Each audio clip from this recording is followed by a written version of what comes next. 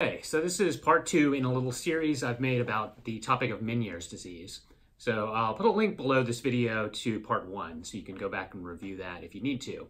Uh, so as you'll probably recall, uh, the problem with Meniere's disease is there's an excess of fluid in the inner ear.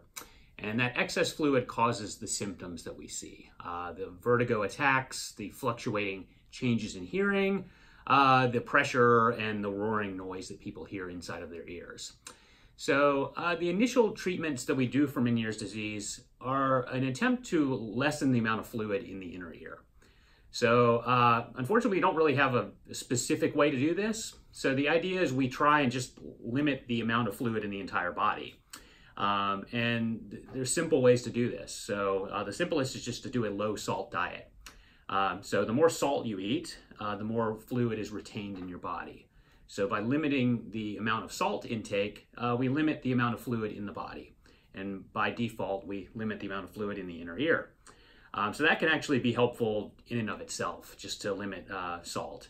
And typically it's less than 2,000 milligrams of sodium per day is what's recommended.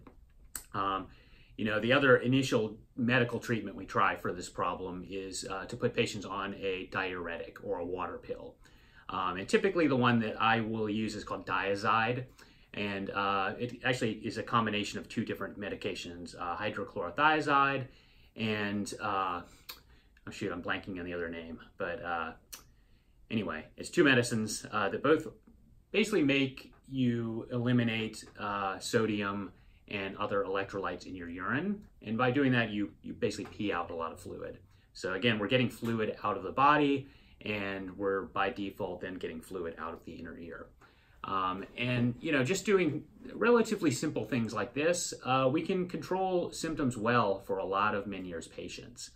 Um, you know, other, you know, sort of initial steps are just managing the symptoms.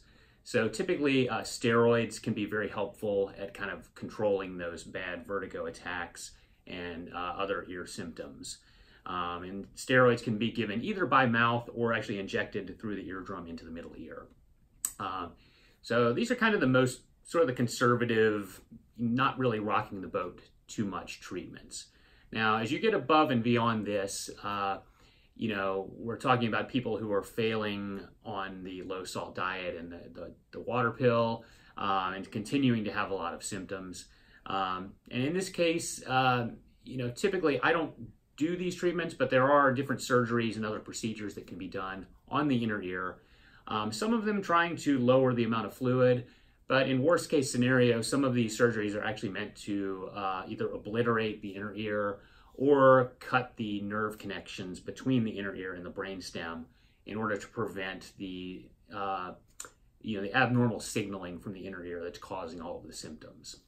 Uh, so, and for you know the the rare patient I see who's in that situation, uh, there are some good uh, ear surgeons and specialists uh, in Austin and San Antonio that I can use to refer those patients uh, when necessary.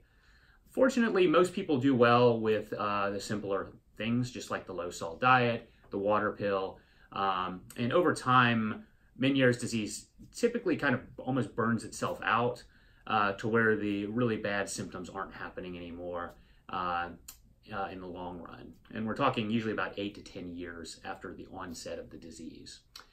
So anyway, I hope that's helpful for you. Just gives you a little brief overview of the uh, options for treatment of Meniere's disease. Uh, and I'll see you in the next video.